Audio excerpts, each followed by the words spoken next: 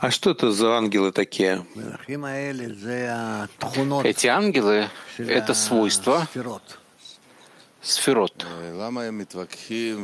А почему они там предъявляют претензии, спорят и говорят, что это не...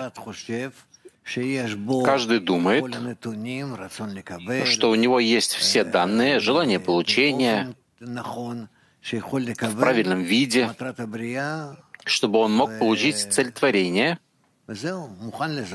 и все, готов к этому. Он пишет в статье, что эти ангелы, они служители Творца, и также они служат душе.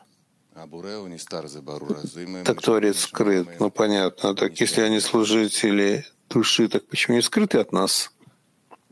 Я не понимаю, потому что мы не готовы получить их, принять их как положено.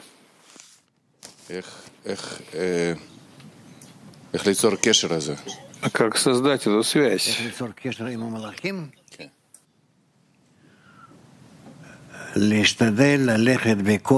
Как создать связь с ангелами?